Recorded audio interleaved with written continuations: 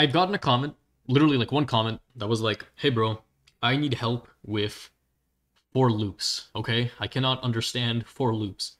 Which you might think like, why? What's hard about for loops? It's a for loop, like that. Like, obvi- like, look, I get it, but I understand that you know for loops have changed, and you know there's like different kinds. Not really, but like there's like two types of for loops that you can use. So Look, if you're a new beginner scripter, I'll just quickly show you how to use for loops, okay? So the way you even make a for loop um, is you do for, um, yeah, so this this kind of creates a for loop. It's not done, so it's not going to work. It's actually going to give you an error, right? But you have to understand what are you looping through. There are two types of for loops. The first type of for loop is when you're just looping a certain number of times, right? So if let's say I want to make a loop that loops 10 times, uh, that's one type of for loop. But then the second type of for loop is when you're looping through a table, right? And a table is like a value that holds other values. So if I make a, local table, which I, I can't call it a table because that's already like a thing in Roblox. So I'll just call it table variable, right? Table variable, and then you do two, you know, squiggly brackets, and you have like a value that's like one, two, three, and then like hello, and then like false, right? So this is a table that contains values. And if I were to do a for loop, like through this table, then it would loop through each value. So first it would be looping through one, two, three, then looping through hello, then looping through false. And every time it loops, it's going to save this value as a variable and it's going to allow us to do whatever we want with this while we're looping through it. And then it's going to move on to the next loop, right? Um, so that's the second type of for loop. Now, the first type of for loop, the one where you loop just a certain number of times, is you do for, and then you make a variable name. And so this variable name is going to be equal to the number of times that you've already looped. Um, yeah, so what I so like usually people just name this i, but you can name this anything. You can you can name this like variable that tracks amounts. Uh, like obviously you can, you can do that, but like that, why would you do that? Just do for i, okay? For i equals one. So this is where your loop will start. So the moment your loop begins, i is going to be equal to the first number you put here. And this doesn't have to be one. This can be like 20. This can be 100, right? But the smart thing to do would just be to do one. And then comma, and then specify the end goal. Like when do you want the loop to end? So if you want your loop to run, let's say five times, then you would put five. There we go, yeah. So for, for i equals one, five, and then you say do, and then you do enter. So what this does is it says, okay, so basically we're gonna loop like from, you know, i equals one, and then every loop we're just gonna be adding on one to i until it reaches five. So, so this is gonna loop five times. So if I let's right now print i, and then I run the game, what's going to happen is that, yeah, so it prints 1, and then it prints 2, and then prints 3, and then prints 4, and then prints 5. And the reason it does this is because it's looping through. So first it loops, and then i is 1, so it prints out i, which is 1. Then it loop, it, then it loops again and adds 1 to i, so now it's 2. Then loops again, now i is 3. Loops again, now i is 4. Loops again, now i is 5, and then because now it's 5, and that that's our like cap, then it then it stops, right? Now, also, it's worth noting that like this doesn't have to be one, right? This could be two, right? And then if this is two, then we're just gonna not have a one. Then it's just gonna be two, three, four, five. Yeah, there we go. Two, three, four, five. So you you can actually specify like when it begins. Um, yeah. So this can be yeah one. This can be like a hundred. But but what if you want it to go up not by one but by two? Or what if you actually want to do a thing where like it goes backwards? So what if you want to have it from go from 10 to 1, right? How do you do that? Because like that's not going to work because by default it adds 1. The way you do this is you, you just add another comma after the second number and then you add a third number and then this third third number just basically um, tells you like like how much are you adding to the i every loop and then i could just do negative 1 so what this means is that every loop we're going to subtract 1 from i and so if we're starting on 10 and ending on 1, then we're going to start 10, and then it's going to subtract neg negative 1 from 10, which is going to be 9, and then it's going to be 8, and then it's going to be 7. Yeah, and then it's going to go all the way down to 1. And it, it doesn't have to be negative 1. It could be like negative 2 as well. right? So no, nothing nothing is, is stopping us. Yeah, so 10, 8, 6, 4, 2. And it, it doesn't go to 0 because that, like, 0 is less than 1, right? So it's not going to go to 0.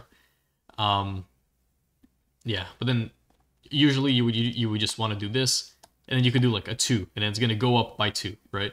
So it's going to be 1, 3, 5, 7, yeah, 7, 9, blah, blah. Yeah, so, so, so these are the three basic numbers, right? This is where you start, this is where you end, and this is how much the i it changes by every single loop. But you, like if you don't have a third number, by default, it's just going to be 1. Um, yeah, so that's that. And then the second type of for loop is, like I said, where we loop through a table. So one, two, three, hello, well, whatever, right? Maybe you can have any table. Um, then you do for i, comma, v. Okay, so just bear with me. Again, i can be anything you, you wanted to name it. v can be anything you want to name it, but I'm just going to finish the loop and I'm going to explain what these are. For iv in table var do. Okay, so what I represents, if, if we're if we're doing a table, okay, so if this isn't a dictionary, if this is just a table, then I will represent the um, number of times we've already looped. So the first loop, I is going to be one. Second time we loop, I is going to be two. And then third time we loop, I is going to be three, right? So I is like, like the amount of times we've looped through the table. And then V is just whatever we're looping through in the table, right? So as we're looping through the table, we're going to loop three times, and every time we loop, v is just whatever we're looping through. So the first the first loop, v is going to be equal to 1, 2, 3. Then the second time, v is going to be equal to hello. Third time, v is going to be equal to false. And so I can just print out v, right? And then I can actually print out i as well. So I'll print out i, and then I'll print out v. And then what we're going to see is, yeah, so 1, 1, 2, 3, 2, hello, 3, false, right? So 1, 2, 3, hello, false. Awesome. Yeah. Um, I mean, that's effectively it. There, there's actually one last thing. I sometimes uh, might not be a number, and it might not be a number if you actually change change this table from a table into a dictionary. And the way you do this, by the way, right, is let me just show you, right? Um, if I were to print out table var right now, right? So I'm just gonna um, I, I mean, I'll, I'll have the loop. It's not to do anything, but I'll have it, right? If I print out table var, so we're going to see how table var looks. If you see, it actually doesn't look like what we wrote here, right? It has this box on it. So it's, it's still a table, but it's saying, okay, it has these square brackets for some reason, and it's saying, okay, 1 is equal to 1, 2, 3. 2 is equal to hello, and 3 is equal to false, right? But we didn't write it like this. So we only wrote one, two, three, hello, false. We didn't actually write, you know, this one, this two, or this three. Well, the reason is in Roblox, every single table uh, kind of operates like this. So it has a key. So the people call this a key. It has a key which is equal to a value. Now, by default, um, if you don't, you know, do any of any of this like square bracket, if, if all you do is just give the table values, then by default, Roblox will make this key equal to a number, right? And like with every new value, the number is going to go up. So the key for this is 1. The key for this is 2 and the key for this is 3, right? Um and so knowing this, we can actually fully know how this works. Because i actually isn't the amount of times we've looped. i is just equal to the key and v is equal to the value. Which is why which is why if you're just using a table, then i will be equal to the number, right? Because the key is the number. And then v is going to be equal to the value. But then if we want to, like, if we make a dictionary, and a dictionary is just, we make a table that looks like this, but instead of one, two, three, we make our own key, because that is allowed, right? So what I could do is I could say, okay, you know, I'll, I'll just hit enter, just because it's easier. You don't have to do it like this, right? But then I do the square brackets, and I can say, like, um, I don't know, key one, right? You can you can you can literally put whatever you want in here. And then key one is equal to one, two, three. And then I could do, okay, then key two is equal to hello. Again, you don't have to make this equal to key two. You don't have to make this equal to a string. Like you can make this literally anything you want, right? And then I could say, okay, then key um key 1000, why not, right? Key 1000 is equal to false. There we go. So what we just done is we've made a table that has the exact same values, but different keys. So now uh, whenever we loop, i will be equal to the key.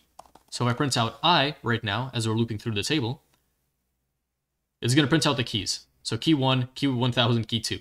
As you can see, it's not like really ordered, um, which might be an issue, right? Um, and I think the reason it's not ordered is because like it goes by numerical value, so it, it's a 1. So I think if I think if I change this to be a 3, then it's going to run in order. Yeah, there we go. Okay, so key key No, not not even then. That's actually very interesting. Um yeah, so if I print out the V, yeah, so I'm, I'm not too sure why it's not running in order. Um but yeah, one, two, three, false, hello. Um so that's that's kind of the idea here, right? Um when you're looping through a table, i is going to be equal to the key, which by default is going to be a number if you don't, you know, change it. And then v is just the value of the table. Um, and if, if you're like still struggling to understand the value of this, um, a table can just be like something like that's in. So let me show you, right? What if, what if I wanted to make a script which will print me the name of every single like item inside of the workspace? What I can do is I can say workspace colon get children. And what get children does is it returns a table which is going to be full of the children of, you know, whatever item this is. So workspace get children. So the children of workspace is camera, terrain, spawn location, and base plate. And so it's going to take all of these values, it's going to stuff them into a table, and it's going to give us a table. So I can say, okay, then v, or no, print v, okay? So, and then it's going to tell us, okay, camera, base plate, terrain, spawn location. So that's kind of the idea of looping, right? You don't you don't really want to loop through an actual table that you create. You usually want to loop through the actual like in-game items, right? That's usually what loops are used for. But yeah, if, if you're if you're still struggling, you know, feel free to leave a comment. I'm sure me or someone else will help you out. If I got something wrong, make sure to absolutely annihilate, annihilate me in the comments. You know, dox my location, whatever. Um, if you found this valuable, I do have a course, so in, in the comments I'll link it, so you might want to check that out. Um, join the Discord in the description, blah, blah, blah. And we are back to basics. Thank you for watching.